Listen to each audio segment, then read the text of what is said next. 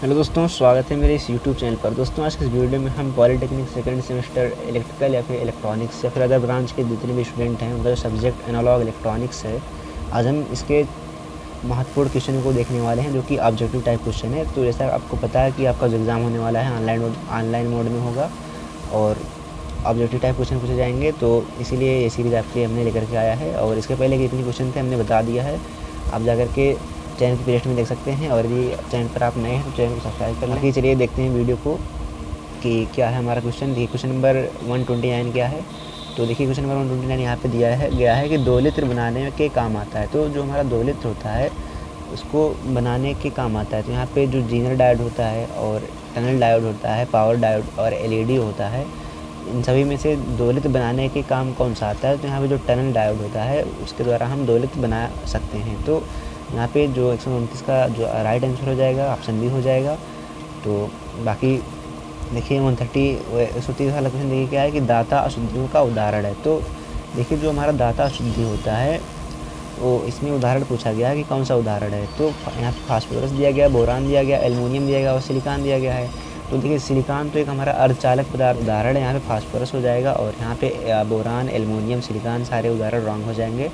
तो और बाकी क्वेश्चन नंबर एक सौ तेरह, एक सौ इक्कीस देखिए है कि सबसे कम व सबसे अधिक डोपिंग क्रमशः होती है। सबसे कम व सबसे अधिक डोपिंग क्रमशः किसमें होती है? तो देखिए यहाँ पे कलेक्टर व बेस की कलेक्टर व बेस की या फिर एमीटर तथा बेस की बेस तथा एमीटर की या फिर एमीटर तथा कलेक्टर की। तो यहाँ पे देखिए जो सबसे अधिक डोपिंग की जाती है, यहाँ पे बेस तथा एमीटर में होती है। तो इसीलिए इसका ऑप्शन सी सही हो जाएगा। बाकी question number one thirty one thirty two देखिए क्या है कि प्रवर्धकों में सबसे अधिक प्रयुक्त होने वाला बंद है।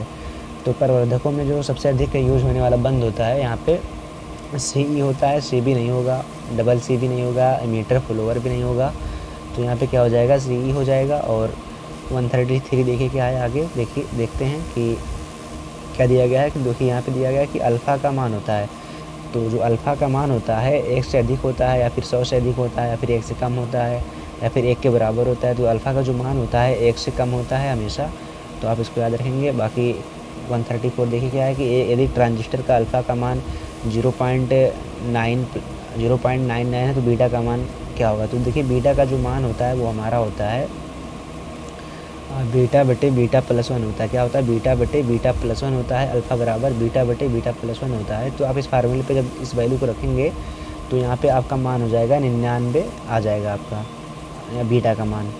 तो यहाँ पे जो फार्मूला होता है, आपको पता ही है कि बीटा बराबर होता है क्या कहते हैं यहाँ पे? अल्फ़ा प्लस वन बटे अल्फ़ा होता है।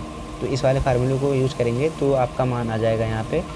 और बाकी देखिए क्वेश्चन नंबर 135 क्या है कि प्रवर्धकों में ट्रांजिस्टर के क्रमशः एमीटर तथा कलेक्टर जंक्शन की बायसिंग रखी जाती है। दो, जो हमारा प्रवर्धक होता है, उसमें ट्रांजिस्टर के क्रमशः एमीटर और कलेक्टर जंक्शन की बायसिंग जो हम रखते हैं, अग्र बायस तथा रिवर्स बायस में रखते हैं। तो यहाँ पे अग्र बायस तथा, अग्र बायस तथा अग्र बायस में तो अगर, अग्र बायस और अग्र बायस में नहीं रखेंगे। रिवर्स और अग्र में नहीं रखते हैं, रिवर्स बायस था रिवर्स बायस में नहीं रखेंगे। तो यहाँ पे केवल अग्र बायस था, रिवर्स बायस हो जाएगा। तो जो प्रवर्धक होता है, उसमें हम ट्रांजिस्टर के क्रमशः एमीटर और कलेक्टर को जो हम रखते हैं, अग्र बायस था, रिवर्स बायस में रखते हैं।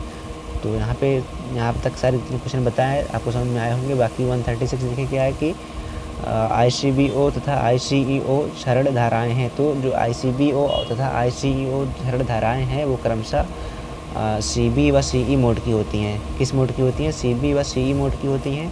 सी ई और सी डबल सी मोड की नहीं होंगी। सी बी और डबल सी मोड की भी नहीं होंगी। और सी ई और सी बी मोड की भी नहीं होंगी तो केवल यहाँ पे सी ई और सी ई मोड की हो जाएँगी। तो इस क्वेश्चन को आप याद रखिएगा। और 137 देखिए क्या है कि एक ट्रांजिस्टर में बीटा का मान जो दिया गया है, यहाँ पे उनचास दिया गया है और आई सी बी ओ का मान वन वन न्यू एंगस्ट्रान दिया गया है और आई बी आई बी का मान दिया गया है। दस न्यू एंगस्ट्रान सॉरी इंग्लिस्टान नहीं एम्पीरिया दिया गया है यहाँ पे तो आईसी का मान क्या होगा? तो देखिए, बीटा का मान और आई का मान और और यहाँ पे क्या कहते हैं आईबीओ का मान दिया गया है तो आईसी का मान पूछ रहा है तो यहाँ पे क्या हो जाएगा? 540 न्यू एम्पियर हो जाएगा। क्या हो जाएगा? 540 न्यू एम्पियर हो जाएगा तो आप इस क्वेश्चन को सॉल्व कर सकते हैं इस प्रकार से कि आई सी बराबर हमारा होता है आई बी माइनस का I C B U plus का आई सी बी यू तो और बीटा का फार्मूला अप्लाई करेंगे तो और सारी चीज़ें आप याद कर लेंगे यहाँ पे।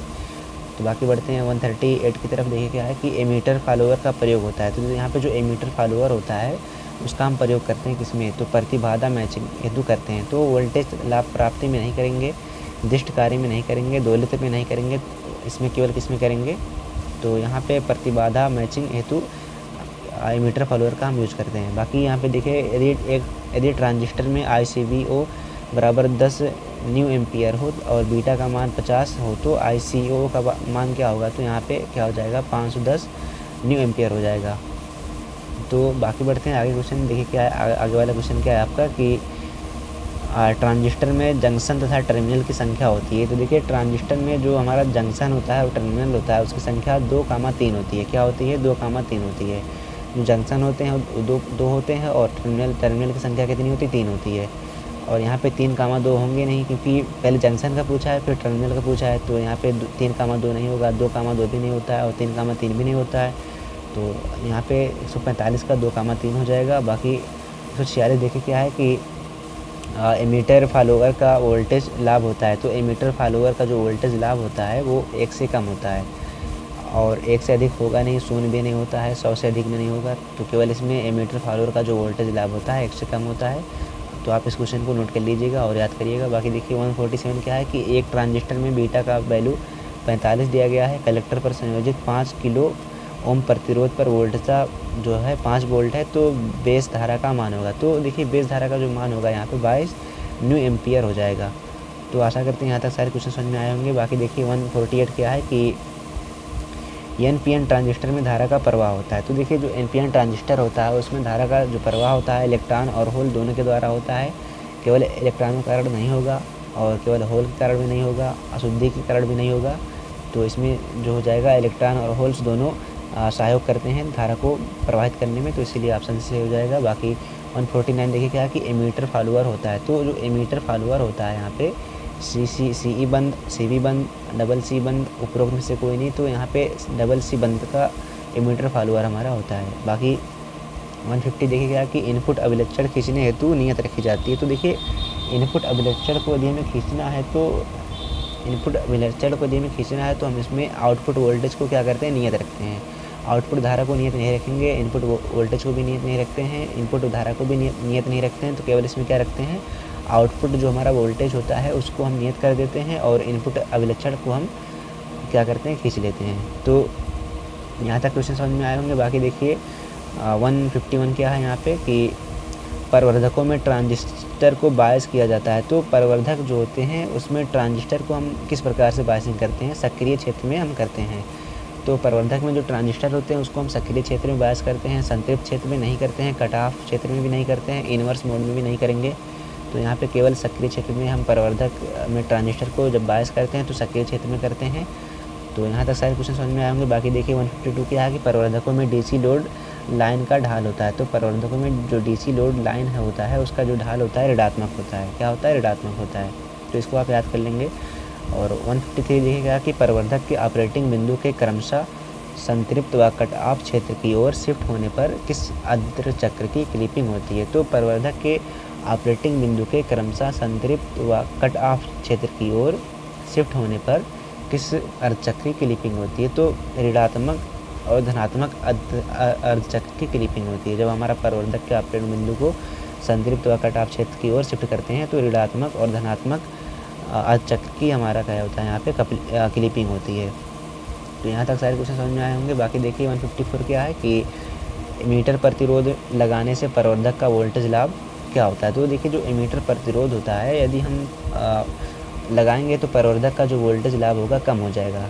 तो यहाँ से अधिक नहीं होगा अपरिवर्तित भी नहीं होगा शून्य भी नहीं होगा तो क्या हो जाएगा? इसमें कम हो जाएगा। बाकी 155 देखे क्या है कि वन फिफ्टी फाइव देखे क्या है कि सबसे अधिक पर प्रचलित बायसिंग परिपथ है। तो सबसे अधिक प्रचलित बायसिंग परिपथ जो हमारा यहाँ यहाँ पे है कि देखिए, यहाँ पे विभव विभव विभाजक दिया गया है कलेक्टर बेस दिया गया है, स्थिर बायस दिया गया है एमीटर प्रतिरोध दिया गया है। तो यहाँ पे देखिए, जो सबसे अधिक प्रचलित बायसिंग परिपथ है, वो हमारा विभव विभाजक परिपथ है। तो इसीलिए यहाँ पे ऑप्शन डी सही हो जाएगा। और question number one fifty six देखिए क्या है कि स्टेबिलिटी फैक्टर का न्यूनतम संभव मान है। तो स्टेबिलिटी फैक्टर का जो न्यूनतम मान होता है, वन होता है, शून्य तो होगा नहीं, अनंत भी नहीं होगा, और हंड्रेड भी नहीं होगा तो यहाँ पे केवल क्या हो जाएगा? वन हो जाएगा। तो आशा करते हैं सारे क्वेश्चन आपको समझ में आए होंगे और इसके पहले का जितना हमने वीडियो बनाया था, सारा चैनल पर अपलोड कर दिया है, जाकर के पेज में देखिएगा और बाकी यदि आप चैनल पर नए हैं तो चैनल को सब्सक्राइब कर लें। और बाकी मिलते हैं आपसे अगली वीडियो में। Bye bye take care